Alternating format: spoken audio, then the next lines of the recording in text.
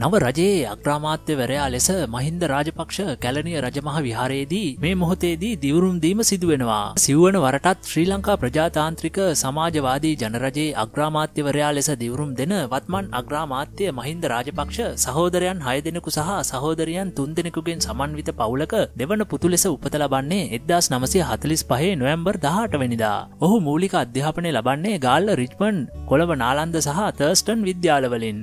පසුව කොළඹ නීති විද්‍යාලයෙන් නීතිය හදාරා නීතිඥවරයකු ලෙස දිවරුම් දෙන ඔහු මුල්වරට පාර්ලිමේන්තුවට තේරී පත්වන්නේ එද්දාස් නමසය හැත්තෑවේ මැයි විසිහත්ව නිදා පැවති මහාමැතිවරණයෙන්. විසි හතර හැවරිදි වයේ පසු මහින්ද රාජපක්ෂ එම පාර්ලිමේන්තුවේ ලාබාලම මන්ත්‍රීවරයා වුණා.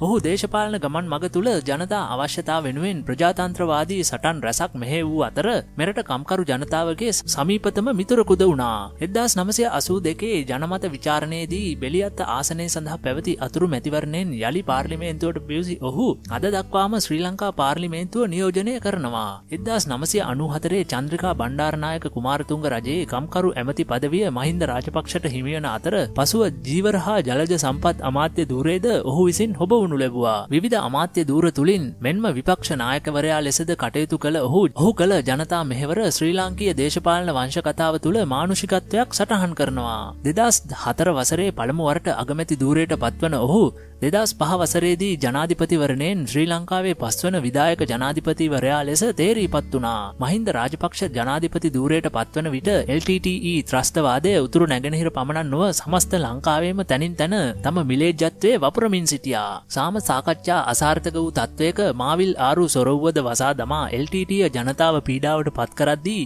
ජනපති මහින්ද ආරක්ෂක හමුදාවන්ගේ ශක්තියෙන් දහස් ගණනක් ජනතාවගේ පිපාසය සංසිඳවන මානුෂීය මෙහෙවුම ඇරඹවා. එය අවසන් වූයේ සේනාධි නායකයා ලෙස ඔහු තිස් වසරක් කුරිරු යුද්ධය දෙදස් නමය වසරේදී මැයි දහට වෙනිදා ලැබුණු සුබ මොහොතින් ශ්‍රී ලංකාවෙන් තුරන්කොර සැබෑ සාමය උදාකිරීමෙන් අනතුරුවයි. දෙදස් දහටේ ඔක්තෝම්බරේදීද යළි අක්‍රාමාත්‍ය දූරේ දිවරුම් දෙන ඔහු පසුගේ ජනාධිපතිවරණයෙන් සිය සොහොයුරු ගෝටාබේ රාජපක්ෂ ජනාධිපති දූරයට පත්වීමෙන් පසු නැවත අග්‍රාමාත්‍යවරයා ලෙස දිවරුම් දුන්නා. මෙවර මහමැතිවරණය අගමැති මහින්ද කුරුණෑගලින් ජයගත්තේ ශ්‍රී ලාංකීය පාර්ලිමේන්තු ඉතිහාසයේ අපේක්ෂකයකු ලබාගත් ඉහළම මනාප සංඛ්‍යාවේ වාර්තාවද හිමිකර ගනිමින්. එම චන්ද සංඛ්‍යාව පන්ලක්ෂ විසිහද්දාස් තුන්සිය හැට හතරක්. ඉතින් අද දින අභිනවයෙන් යළිදු පත්වෙන අපේ අගමැති තුමන් හට රසඳුන අපිත් සුප ප්‍රාර්ථනා කරනවා අපගේ චැනල තාම සබස්ක්‍රයිබ් කල නැත්තම් මෙන්න මේ බට්න කලික් කරලා අපිය සබස්ක්‍රයිබ් කර ඒවගේ මෙන්න මේ බෙල් බට්න ඇක්ටව් කළොත් අපේ චැනලට එකතුන නවතම් වීඩියෝ ගැන ඔබට එසනින් දැනගැනීම හැකයාව ලැබෙනවා. ඒවගේ අපගේ ෆස්බුක් පිටුවට පිවිස අප ලයි කිරීමට දමතක් කරන්න එපා.